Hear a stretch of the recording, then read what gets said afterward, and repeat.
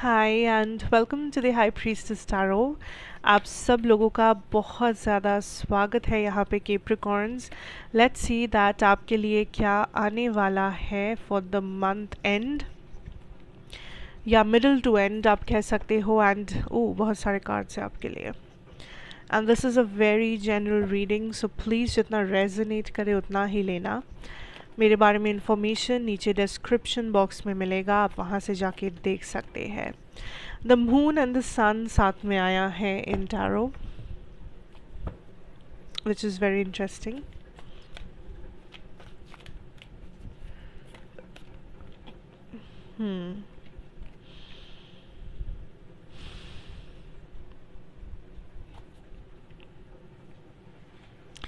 okay. Listen up. Capricorns. Uh, first of all,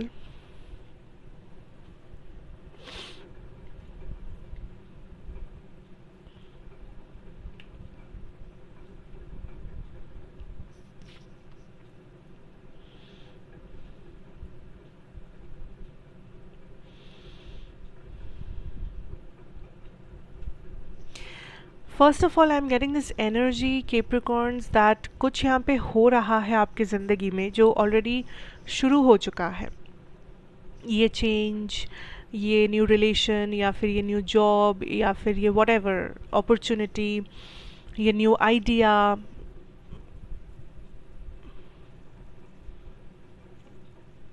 या फिर अगर ये नया कुछ नहीं भी है तो कोई पर्टिकुलर चीज़ जहाँ पे आप सब कुछ लाइक अपना हंड्रेड परसेंट दे रहे हो। करियर हो सकता है लव लाइफ हो सकता है हेल्थ हो सकता है, कुछ भी। बट आप इस चीज़ को अपना हंड्रेड परसेंट दे रहे हो। एंड आपको पता होगा कि ये क्या चीज़ है। जब मैं ये, आप ये रीडिंग देख रहे हो, आपको क्लैरिटी होना चाहिए कि ये कौन सी चीज़ है। तो आप इस चीज़ को पूरे हंड्रेड परसेंट अपना सब कुछ अटेंशन एफर्ट सब कुछ दे रहे हो, क्योंकि आपको लग रहा है यही वो चीज़ है जो आपकी ज़िंदगी को बेटर बना सकता है, जो आपको खुश रख सकता है, जो आपके लिए अलाइनमेंट में है, जो आपका फ्यूचर है। एंड वो सच है। इट्स नॉट लाइक कि आप गलत हो आप आप ठीक रास्ते पे हैं। लेकिन यहाँ पे ऑल्सो कुछ चेंजेस है जो ज़रूरी है जो आप नहीं कर रहे। आ, या तो आप इस चीज़ को खोने से डर रहे हो कि अगर मैं ये चेंज करने गया तो शायद मैं इस चीज़ को खो दूँगा या शायद ये चीज़ को मैं बर्बाद कर दूँगा गड़बड़ हो जाएगी। सो देर इज़ अ चेंज या देर इज़ ऑल्सो समथिंग जो आपको भी पता है कि इस बारे में आपको कुछ करना पड़ेगा बट आप एनफ एक्शन नहीं ले रहे हो किसी डर के वजह से, किसी इनसिक्योरिटी के वजह से, या आप बस अपने अंदर वो कॉन्फिडेंस नहीं समेट पा रहे हो कि आप ये एक्शन लो, या आप इस बात, इस ओपिनियन को रखो सामने, या वट एवर दिस इज़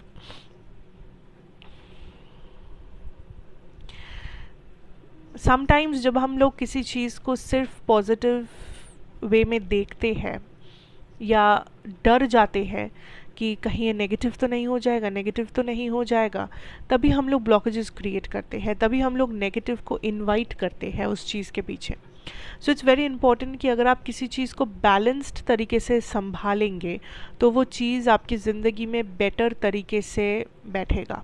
वो आपकी ज़िंदगी में बेटर तरीके से आप उसे एक्सपीरियंस कर पाएँगे। लेकिन अगर आप किसी चीज़ का सिर्फ़ और सिर्फ़ अच्छा जग लाइक अच्छा साइड पॉजिटिव साइड लेके जीना चाहते हैं कि मुझे नेगेटिव जानना ही नहीं है, देखना ही नहीं है, उसके बारे में मुझे बात ही नहीं करना, मुझे सिर्फ़ पॉजिटिव से मतलब है, मुझे सिर्फ़ अच्छे साइड से मतलब है तो there will be a time कि आपको नेगेटिव ऑटोमेटिकली देखना ही पड़ेगा। चाहे वो कोई चीज़ हो इंसान हो सिचुएशन हो तो कोई भी चीज़ इंसान सिचुएशन से डील कर रहे हैं तो उसका पॉजिटिव साइड ज़रूर देखें। पॉजिटिव चीज़ को ज़रूर एक्सपीरियंस करें पर उसका नेगेटिव साइड को इग्नोर मत कीजिएगा। उसके नेगेटिव साइड में भी कुछ चीज़ें हैं जो आपके लिए जानना ज़रूरी है जिसके बारे में बात करना ज़रूरी है। ठीक है? सो so, वैसे ही आप खुद भी अगर पॉजिटिव पॉजिटिव पॉजिटिव पे फोकस कर रहे हो तो आपके अंदर भी हो सकता है कि कुछ नेगेटिव या शैडो एनर्जीज काम कर रहे हो जिसको एड्रेस करना ज़रूरी है जिसके बारे में बात करना ज़रूरी है जिसे मिटाना ज़रूरी है। सो so, पहले तो खुद को एक्सेप्ट करना होगा कि ये ये चीज़ें हैं जो मुझे नहीं चाहिए जो मेरे साथ अलाइनमेंट में नहीं है या जो मेरे प्रिंसिपल्स के अगेंस्ट है। एंड देन उसके बारे में बात करना चाहिए। ओपिनियंस रखनी चाहिए। So don't run away from something अगर कोई चीज़ आपको सच में हासिल करना है इस ज़िंदगी में, या आपको सच में उस चीज़ से प्यार है, उस चीज़ को पाना है अगेन वो कोई चीज़, कोई इंसान, कोई सिचुएशन कुछ भी हो सकता है तो आपको उसे पूरी तरीके से पहले समझना होगा। हैंडल करना होगा, डील करना होगा। उसके बाद ये सवाल आएगा कि क्या वो होगा आपके साथ या नहीं, क्या ये डेस्टिनी है या नहीं? पहले अगर समझेंगे नहीं एक्सपीरियंस नहीं करेंगे हैंडल नहीं करेंगे तो कैसे पता चलेगा? दैट्स समथिंग पहले एक्सपीरियंस ज़रूरी है। पहले जर्नी पे चलना ज़रूरी है। पहले रास्ते पे चलेंगे, तब ना कहीं पहुँचेंगे। पर पहले ही अगर पहुँचने के बारे में सोचेंगे और रास्ते को इग्नोर कर देंगे फिर कभी पहुँच ही नहीं पाएँगे। That's what it is about career की बात करें तो आप काफ़ी मोटिवेटेड है एंड आप काफ़ी एक्शन ओरिएंटेड है। ओवरऑल um, करियर आपका बैलेंस्ड ही है बट आपको थोड़ा सा डिटेल्स पे फोकस करना है।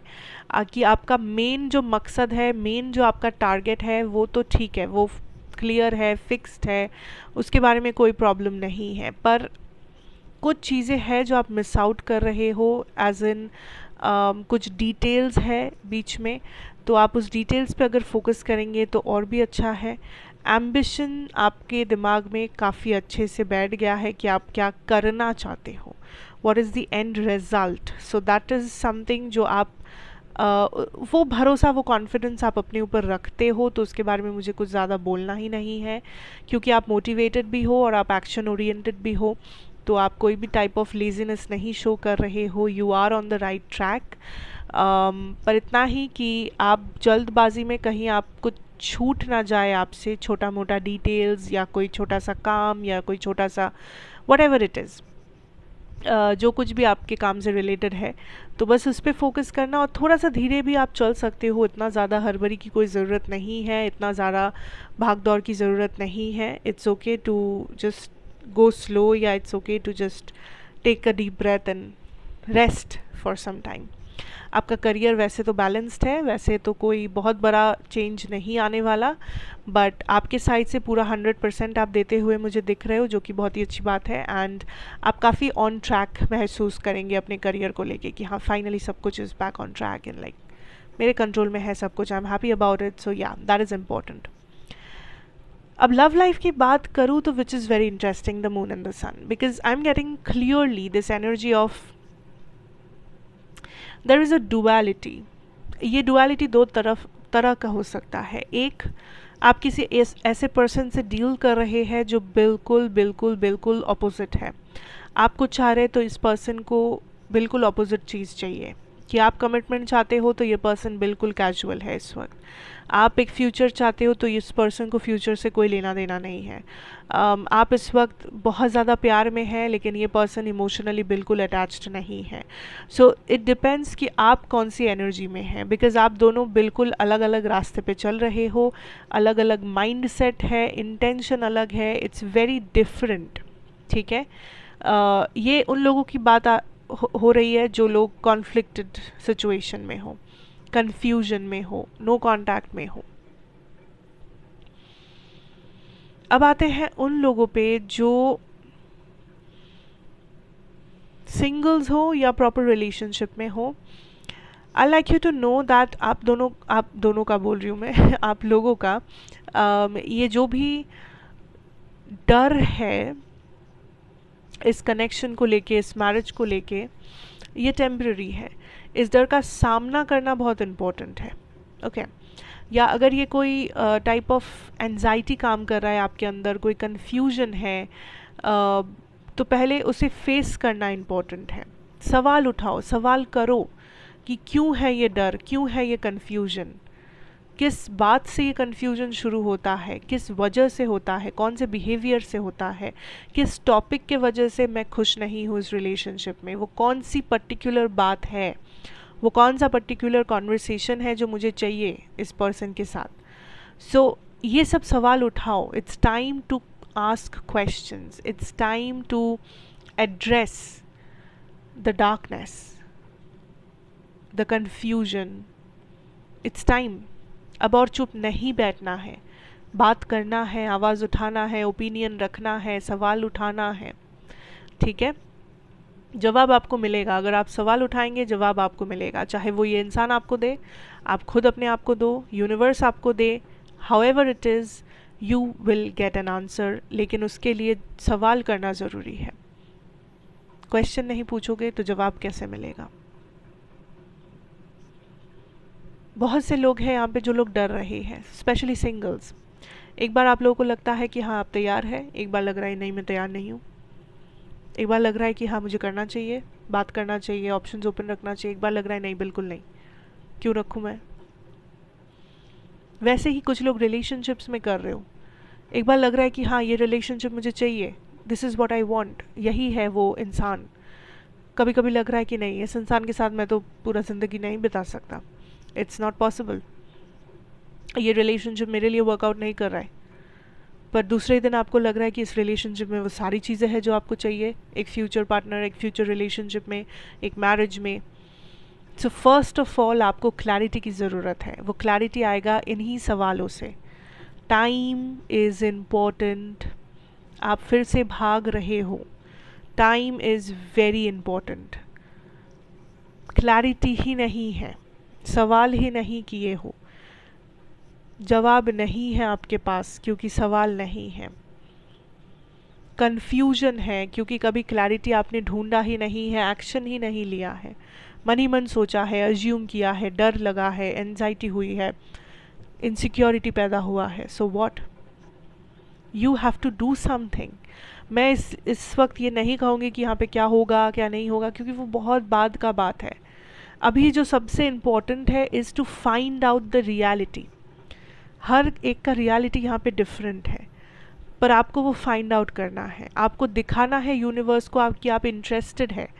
चुप बैठोगे तो यूनिवर्स को लगेगा आप इंटरेस्टेड नहीं है। It's done it's over it's ख़त्म। So first of all show some interest take some action ask some questions कोशिश करो, क्या है? क्या ही हो जाएगा कोशिश करने से? हार जाएँगे मे बी जीत भी जाएँगे, पर कोशिश करना बहुत इम्पोर्टेंट है, ठीक है? सो डू योर पार्ट मैं इतना कहूँगी, आप अपना पार्ट कीजिए, बाकी यूनिवर्स पे भरोसा रखिए। आपका ये कन्फ्यूज़न ये डर, ये एनजाइटी ज़रूर दूर होगा, जिस दिन आप सवाल उठाएँगे, जिस दिन आप एक्शन लेंगे। So that is what I have for you Capricorns thank you so much for watching अच्छा लगा हो तो ज़रूर बताना like share comment and subscribe if you are new here and of course मैं आपसे फिर मिलूँगी एक और रीडिंग के साथ. Till then take care and goodbye